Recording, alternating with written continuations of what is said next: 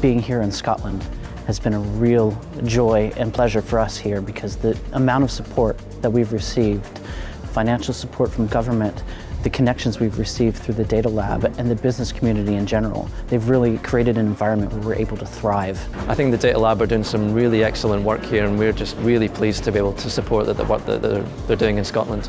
I decided to join the Data Lab board because it was just such a, a, wonderful initiative that was happening that they wanted to bring the academics and the industry together to use data to step change the Scottish economy.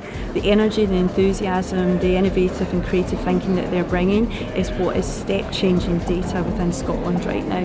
So there are a lot of benefits of being part of the Data Lab network the events that the Data Lab organise through the year, this one, the hackathons, they're all very useful to the students. Um, I think it also helps the students understand what they might be able to do with their degree when they leave, and that's very important for them.